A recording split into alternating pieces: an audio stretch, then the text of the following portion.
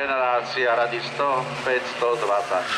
Jiří Katleček Honda Civic, štartovné číslo 398.